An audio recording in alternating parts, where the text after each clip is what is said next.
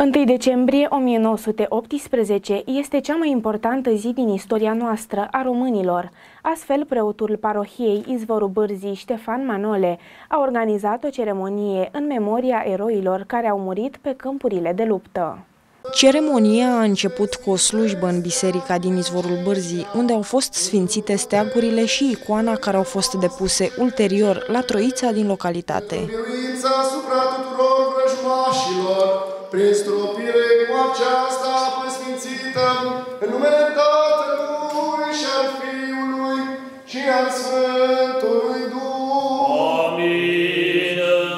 De la biserică, preotul Ștefan Manole, însoțit de enoriași, a plecat într-o procesiune spre Troița aflată la Răscruce. mulți ani, Doamne ajută!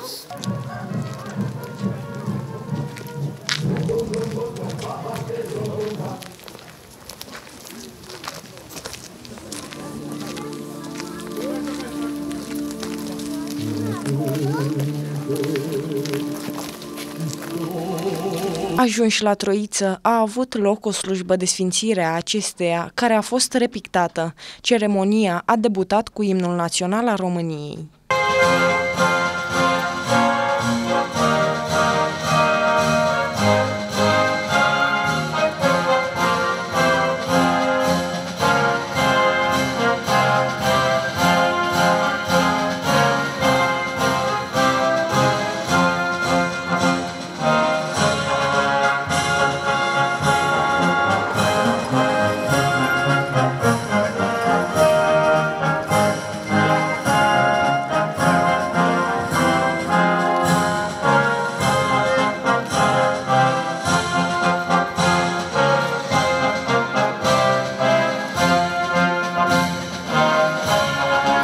De asemenea, a fost ținut un parastas pentru eroii căzuți la datorie, iar la sfârșitul ceremoniei, preotul Ștefan Manole le-a expus celor prezenți faptele de vitejie care au condus astăzi la ceea ce numim România întregită. Vom oficia slujba de sfințire a acestei troițe pe care am repictat-o, după care vom face parastas pentru eroii țării, iar la sfârșit vom uh, asculta un cuvânt despre ce a însemnat pentru întreaga națiune 1 decembrie. La mulți ani! 1 decembrie 1918 va rămâne pentru totdeauna în istoria poporului român, drept ziua triumfului idealului național, unitatea.